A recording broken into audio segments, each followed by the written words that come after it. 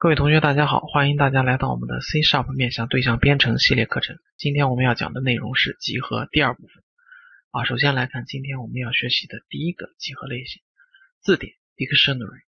那么字典它比较特殊，我们以往学习的啊，上节课学习的，或者说其他的集合类型，基本上都是一个集合存储着一系列的对象、一系列的值。那么字典呢，它存储的是一系列的键值对。那么每个值呢，对应的唯一的一个键。那么键的意义在于啊，我们可以通过键相对高效的访问到值，键是唯一的啊。大家注意，那么这就像每个人对应着我们社会上的每一个每一个人对应着一个自己的身份证号码啊。那么通过身份证号码，我们就可以找到这个人是谁啊。那么就有点像这个意思。那么另外举个例子，为什么它叫字典？那键就像字典的字母。那么值呢，就是字典里的单词，有点这个意思。那么我们通过键呢，可以查到对应的值啊，就像查字典。那么这个字典有什么操作呢？我们最基本的，我们学习四个数量，我们可以知道这个字典里存储着多少键值对。那么添加的时候，不是添加一个值，而是添加一个键值对。比如说一个名字啊，对应一个一个宠物啊，那么通过名字，我们就能找到这种宠物。那么删除，我们也是可以通过键值来键来删除。比如说删除叫做汤姆的一只宠物就可以把它删除。那么访问，我们也可以通过键来进行访问，可以访问到它的值。所以说给给我们集合的操作带来了更加的便利性。之前我们学的动态数组或者是数组，那么或者说 list，我们只能通过什么呢？通过索引来访问。那么但是我们学了字典以后。我们访问集合当中的数据，我们可以通过键来访问，那么使我们的访问更加灵活。同时，这种访问它是相对高效的，效率是比较高的啊，应该是对数级的。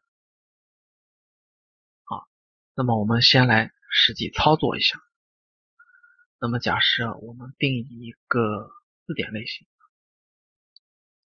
字典类型，假如我们存放个 string，然后 dog。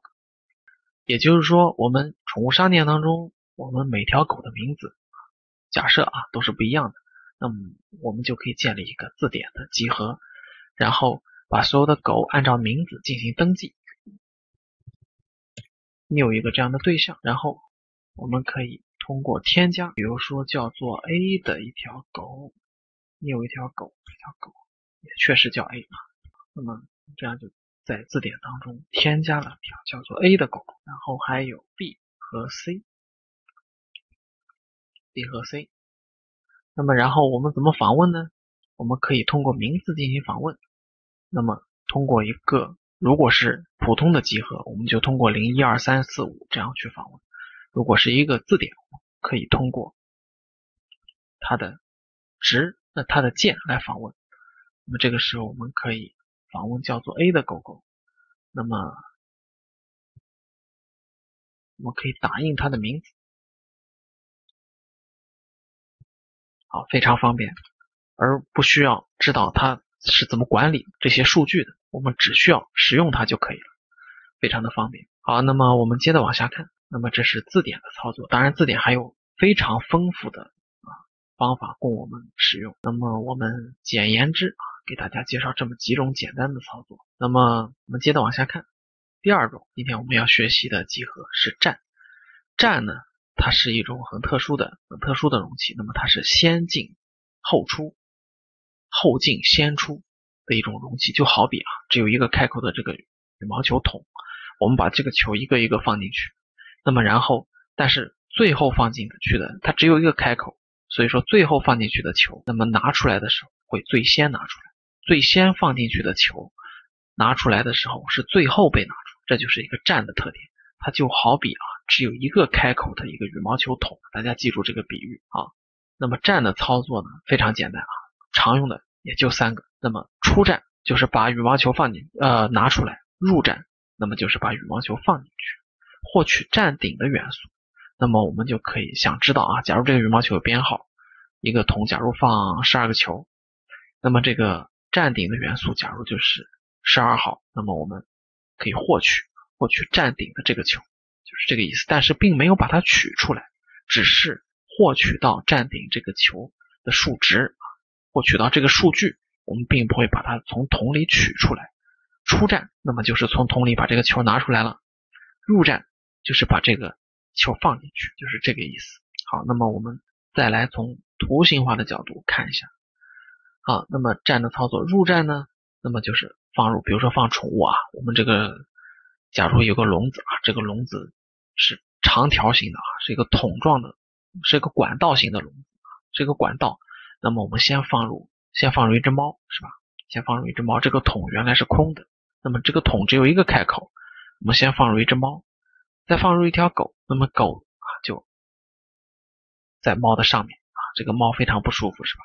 然后我们就把这个 pop 就弹出出站叫做啊，那 push 就叫入站。那么入站的时候它有一个参数，那么我们要知道把谁放进去是吧？就是放入的对象。那么出站的时候呢，那么我们会有一个返回值啊，会把谁弹出来，我们可以把。用一个引用啊，把这个出站的对象啊进行保存，然后对这个对象进行操作 pop。那么首先是空的，然后放入猫，然后放入狗，那么就变成这个样子。那么再把狗弹出来 pop，那么是狗是后入的，因为只有向上的一个开口，所以把把这个狗弹出去，只剩下一只猫，猫现在就独享这个空间啊。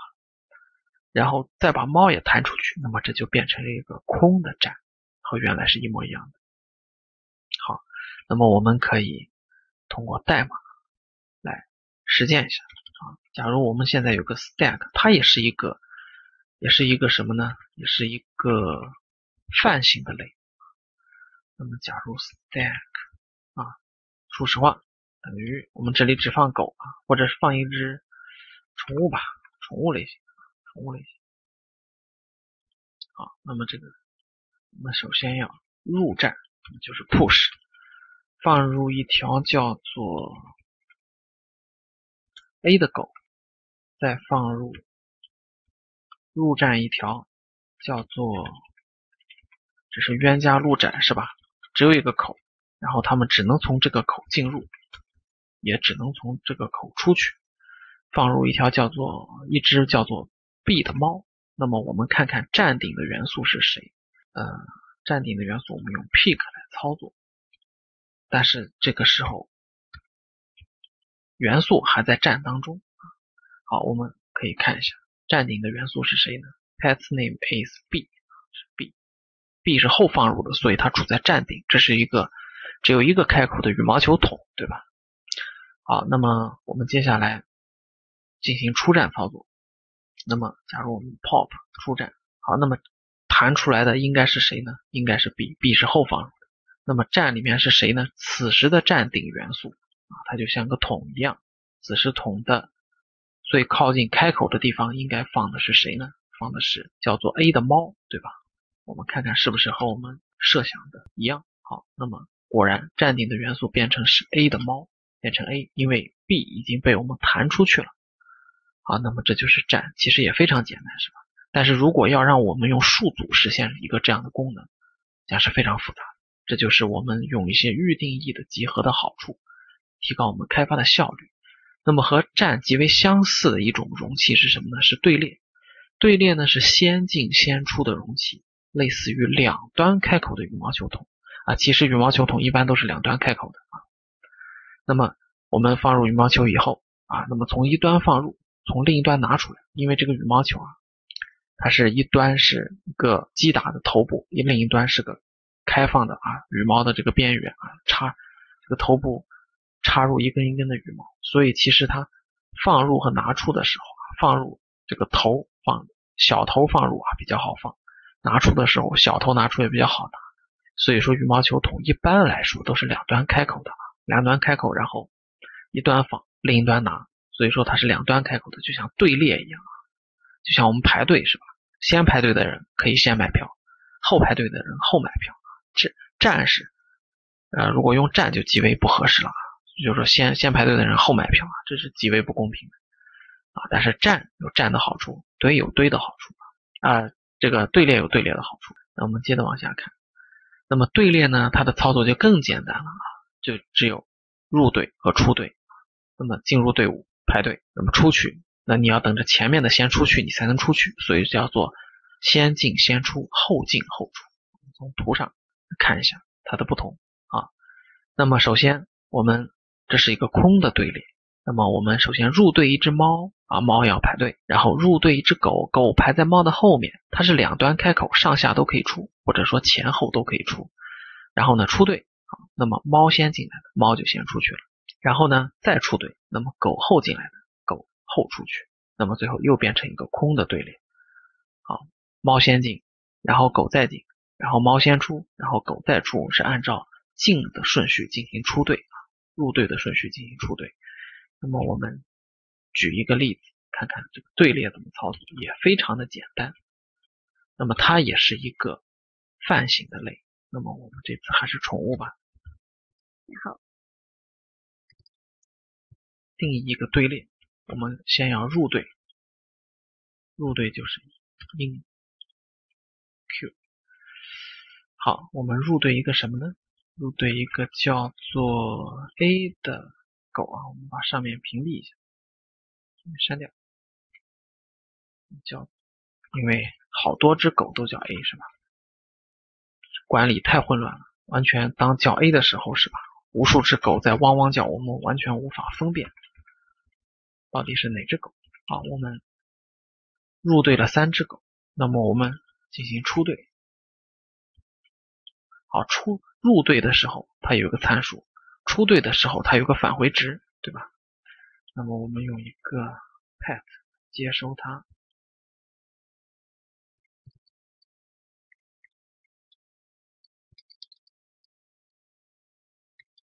然后我们把它的名字输出来，然后依次进行三次出队，我们会发现啊。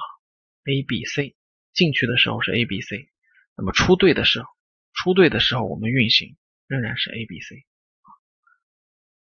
啊，这个和我们队列的操作是完全一样的啊。那么其实队列我们可以看一下，它有很多的参数啊，很多的参数，好，那么很多的方法，很多的方法都可以使用，那么。假如队列可以有哪些实际使用的？假如啊，假如我们正在做一个宠物的商店，那么在宠物商店当中，我们想要有些顾客啊想要购买宠物，那么可能就有一个队列的问题。那么谁先来？假如都想要一只牧羊犬，但是我现在呃宠物商店只有一只牧羊犬，那么这个时候，那么购买的下的订单其实就是一个队列。那么谁先下的单，我就会先卖给谁。这是一个相对公平的原则。那么今天我们的课就讲到这里，先。